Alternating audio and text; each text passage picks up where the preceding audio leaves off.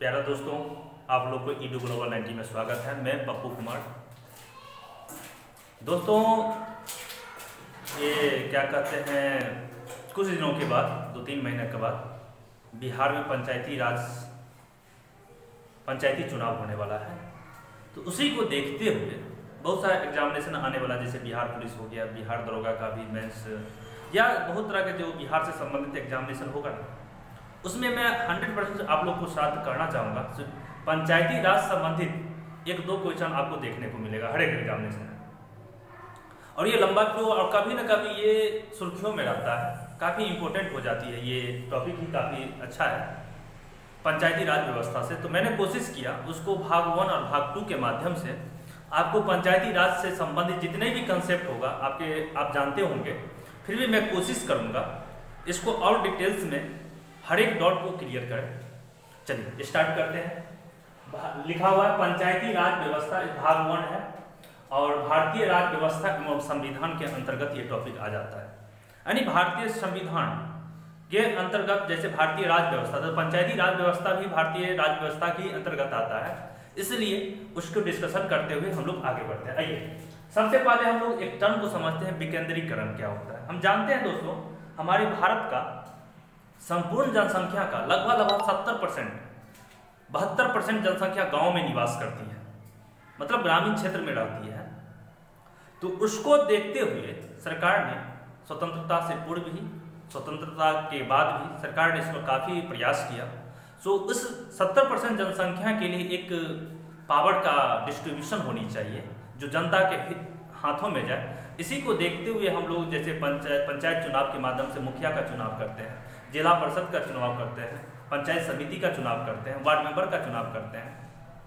यही टोटल का total power का विकेंद्रीकरण के अंतर्गत आता है, जिसमें निम्न तबके के लोगों के, को भी भारत के संविधानिक के अनुसार उसको भी शक्ति दिया गया है और ये अपने शक्ति का प्रयोग करते हुए अपने जो लोकल जगह है, उसकी विकास की बात करते हैं। वहाँ के अधिकार अपने अधिकार की बात करते हैं। तो वही कहा गया है विकेंद्रीकरण। नाम ही है विकेंद्रीकरण डिस्ट्रीब्यूशन यानी पावर को एक सेंट्रलाइज नहीं होते हुए नहीं कर, नहीं करते हुए यानी इस पावर को गाँव तक पहुँचाने का प्रोसेस ही विकेंद्रीकरण कहलाता है। तो देखिए केंद्रीय प्रशासन को निम्न तबके के लोगों तक पहुंचाना यानी क्या होता है? केंद्रीय प्रशासन जैसे केंद्रीय प्रशासन का मतलब हो गया राज्य की बात करें तो मुख्यमंत्री के पास देश की बात करेंगे तो प्रधानमंत्री के पास सेंट्रल गवर्नमेंट को भी पावर को नीचे तबके तक पहुंचाना ही। तो केंद्रीय प्रशासन को निम्न तबके के लोगों तक पहुंचाना और उनकी भागीदारी को भी इसमें शामिल करना, सुनिश्चित करना, लेना प्रशासन का विकेंद्रीकरण कहलाता है। हम जानते हैं कुछ जनप्रतिनिधि होते हैं, जैसे मुखिया, जनप्रतिनिधि है। वो हम लोग किसी कुछ भी समस्या होता है पंचायत लेवल पे, गाँव लेवल पे तो हम लोग मुखिया से मिलते हैं, पंचायत समिति से मिलते हैं और वो हमारी समस्या को निराकरण, आगे बढ़ा के निराकरण करते हैं। तो वही हुआ शक्तियों का, हम लोग कोई भी यदि समस्या हो तो हम लोग विधायक, सांसद या प्रधानमंत्री, मुख्यमंत्री के पास नहीं जा सकते। हैं तो वो जो सेंट्रल पावर हुआ ना, उसको नीचे तक पहुँचा दिया। मतलब क्या, मुखिया, वार्ड मेंबर के माध्यम से जनता अपनी समस्या को उनके पास रखेगा और उनके द्वारा फिर आगे तक ये समस्या को आगे पहुँचाया जाएगा और उसकी हल किया जाएगा। वही हुआ विकेंद्रीकरण। आइए दोस्तों चलते हैं। हम जानते हैं एक महत्वपूर्ण क्वेश्चन है, पूछा जाता है, प्राचीन काल की बात किया जाए। जब साउथ इंडियन में चोल साम्राज्य, चालुक्य साम्राज्य राष्ट्रकूट हुआ करता था, उस समय जो सबसे प्राचीन काल में स्थानीय स्वशासन को जो जनक माना गया है, जो चोल साम्राज्य को माना गया है, चोल प्रशासन को माना गया है। आज हम लोग देख रहे हैं, ये हमारे भारतीय संस्कृति की बहुत ही बड़ी गरिमा की बात किया जाए। चोर प्रशासन जब आज से लगभग बात किया जाए, लगभग तीन हज़ार, चार हज़ार पहले की बात है, उस समय भी, यानी केंद्रीकरण तो था ही साथ साथ नीचे तबके के लोगों को, ग्रामीण स्तर तक भी एक पंचायती व्यवस्था था, सरकार का गठन किया गया था। वही पूछा जाता है, प्राचीन काल में स्थानीय स्वशासन का जनक कौन था? तो जो चोल प्रशासन, जो कि अभी वर्तमान में तमिलनाडु के क्षेत्र में पड़ता है। चलिए, आप लोग को दोस्तों एक कमेंट बॉक्स में बताना अभी हाल ही में एक बीपीएससी का क्वेश्चन भी पूछा गया था तो मध्यकाल में किसे स्थानीय सुशासन का जनक माना गया? मैं इसे आपके लिए छोड़ दिया हूँ। मैं अगला वीडियो में जो भाग टू बनाऊँगा उसमें इसकी मैं ज़िक्र कर लूँगा आंसर बता दूँगा। मगर आप यदि वीडियो देख रहे हैं तो इसको आपको बताना है। कमेंट बॉक्स में मैं इंतज़ार करूँगा। आइए, आधुनिक काल में स्थानीय सुशासन की बात किया जाए आधुनिक काल की बात किया जाए, जब मान ली भारत स्वतंत्र हो गया, उससे पहले की बात किया जाए तो उसमें प्रथम जो नाम आता है, लॉर्ड रिपन का नाम आता है। अठारह ईस्वी में ये अपने प्रस्ताव को रखा था, भारतीयों के समक्ष, और इसको कानूनी की मान्यता भी देने के प्रयास किया गया। तो पूछा जाता, आधुनिक काल में किसे दिया गया था? तो अठारह सौ लॉर्ड रिपन को दिया गया आधुनिक काल में पंचायती राज व्यवस्था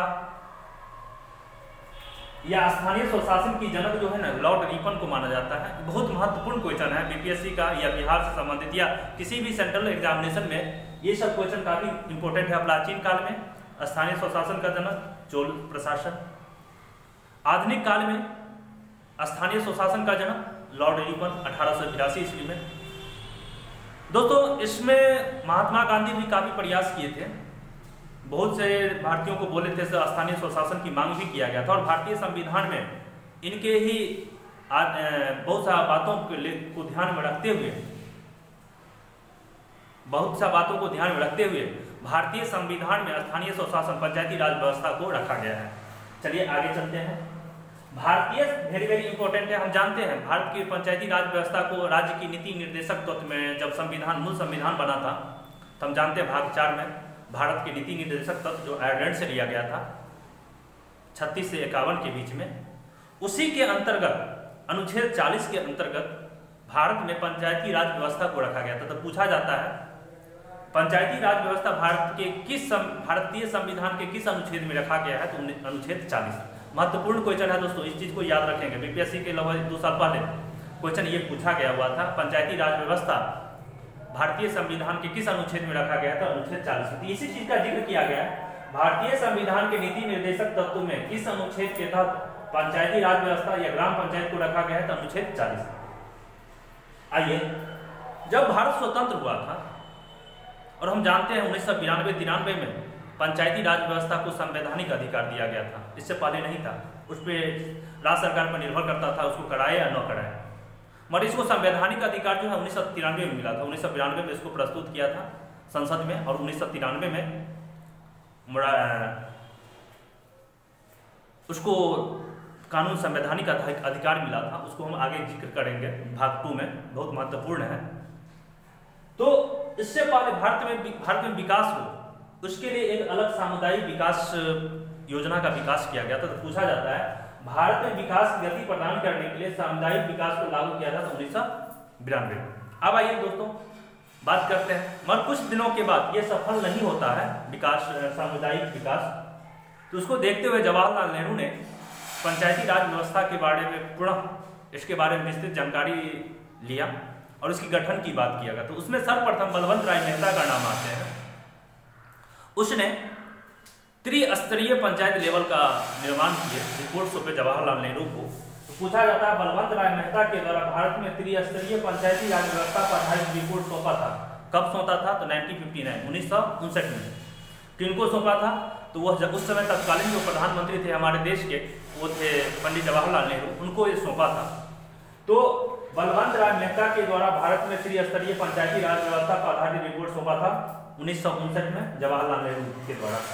भारत में जो अभी वर्तमान में भी स्तरीय पंचायती पंचायती राज व्यवस्था है, वो किनके द्वारा दिया गया था? तो बलवंत राय मेहता के द्वारा। तो भारत में त्रिस्तरीय पंचायती राज व्यवस्था की कौन सिफारिश किया था? कौन अपना रिपोर्ट महा, पंडित जवाहरलाल नेहरू को सौंपे थे? तो थे बलवंत राय मेहता। आगे चलते हैं दोस्तों। मैंने इस चीज़ को यहाँ लिख दिया है। सत्तर परसेंट जनसंख्या भारत के गाँव में निवास करती है। यस। इसलिए भारत गाँव का महात्मा गांधी का, जवाहरलाल नेहरू का अपना बात था। तो भारत की जो आत्मा है ना, वो गाँव में निवास करती है। मतलब इसका उद्देश्य ये था, भारत की जो मैक्सिमम जनसंख्या जो है ना, वो गाँव में निवास करती है, दोस्तों। चलिए, आगे चलते हैं। भारत में त्रिस्तरीय पंचायती राज व्यवस्था आधारित है, दोस्तों। जैसे ग्राम स्तर पर ग्राम पंचायत, प्रखंड स्तर पर पंचायत समिति और जिला स्तर पर जिला परिषद का निर्माण किया गया है। हम लोग देखते हैं ग्राम स्तर पर ग्राम पंचायत में मुखिया, वार्ड मेंबर की बात होती है। प्रखंड स्तर पर हम लोग बात करते हैं पंचायत समिति। प्रमुख की बात करते हैं और जिला स्तर पर जिला परिषद और जिला परिषद अध्यक्ष होते हैं ये, या जिला परिषद प्रमुख होते हैं, उसकी बात करते हैं। तो दोस्तों, इसके बारे में हम लोग काफ़ी डिस्कशन करेंगे। ग्राम स्तर पर ग्राम पंचायत, जिसमें वार्ड मेंबर आ गया और पंचायत मुखिया आ गया। प्रखंड स्तर पर बात किया जाए तो वो पंचायत समिति होते हैं और पंचायत समिति के माध्यम से जब चुनाव हो जाता है तो उसके द्वारा प्रमुख को चुनते हैं, प्रखंड प्रमुख को चुनते हैं। और जिला स्तर पर हम लोग बात किया जाए तो जिला परिषद होता है और फिर जिला परिषद के द्वारा जिला प्रमुख, जिला परिषद प्रमुख को चुना जाता है। आइए, पंचायती राज व्यवस्था को वेरी वेरी इंपॉर्टेंट है। ये क्वेश्चन और ये क्वेश्चन काफ़ी इंपॉर्टेंट है। पंचायती राज व्यवस्था को सर्वप्रथम लागू किया था। जब बलवंत राय मेहता के द्वारा, जब त्रिस्तरीय रिपोर्ट जब सौंपा था जवाहरलाल नेहरू के द्वारा, तब जब इसकी लागू करने की बात आया ना तो वो एक समय आता है दो अक्टूबर उन्नीस सौ उनसठ, महात्मा गांधी के जन्मदिन के शुभ अवसर पे। जवाहरलाल नेहरू के द्वारा 2 अक्टूबर उन्नीस सौ उनसठ को राजस्थान, राज्य की बात किया जाए तो सर्वप्रथम लागू किया गया था राजस्थान में, और जगह की बात किया जाए तो नागौर एक जिला था। नागौर जिला में उसको लागू किया था, और उसको लागू करने वाले जो थे ना, तत्कालीन जो प्रधानमंत्री थे जवाहरलाल नेहरू के द्वारा इसको लागू किया गया। तो सर्वप्रथम तीन क्वेश्चन इसके अंतर्गत आ रहा है। पंचायती राज व्यवस्था को सर्वप्रथम लागू किया था, कहाँ किया था, किस राज्य में किया था? तो हमारा आंसर होगा राजस्थान। जगह की नाम पूछा जाए तो होगा, मेरा होगा नागौर जिला। किनके द्वारा किया गया था? तो पंडित जवाहरलाल नेहरू के द्वारा किया गया था। और कब किया गया था? तो 2 अक्टूबर उन्नीस सौ उनसठ को। अब आइए। जब पंचायती राज व्यवस्था, प्रथम राज्य की बात किया जाए तो राजस्थान, और फिर कभी कभी पूछा जाता है पंचायती राज व्यवस्था, दूसरा राज्य कौन था जहाँ पंचायती राज व्यवस्था की लागू किया गया था? तो वो था Andhra Pradesh. Very very important है, क्योंकि बहुत बच्चे तो याद रख लेते हैं। पंचायती राज व्यवस्था जो है ना लागू किया गया था, प्रथम राज्य जो था वो राजस्थान था। जिला भी याद रख लेते हैं, नागौर था। मगर यदि दूसरा जिला की बात किया जाता है तो बहुत मैक्सिमम बच्चे वहाँ पर कंफ्यूजन हो जाता है तो हमारा होगा आंध्र प्रदेश। फिर चलते रहता है 1959 से चलते रहता है। पुनः एक समय आती है, हम जानते हैं। उन्नीस सौ सतहत्तर में चुनाव होता है और वहाँ चुनाव होने के बाद कांग्रेस पार्टी का वहाँ पराजय हो जाती है, हार हो जाती है और भारत में सर्वप्रथम 1977 में प्रथम गैर कांग्रेसी जनता पार्टी का गठन होता है। और उस उस समय हमारे देश के प्रथम कांग्रेसी, प्रथम गैर कांग्रेसी प्रधानमंत्री के रूप में मुरारजी देसाई आते हैं और वो प्रथम प्रधानमंत्री के रूप में चुनते हैं गैर कांग्रेसी। उसने क्या किया? बलवंत राय मेहता की रिपोर्ट को खारिज कर देता है, मानने से इनकार कर देता है और अशोक मेहता की, अशोक मेहता के के माध्यम से उनकी अध्यक्षता में एक रिपोर्ट, एक समिति को गठन करते हैं उन्नीस सौ सतहत्तर में।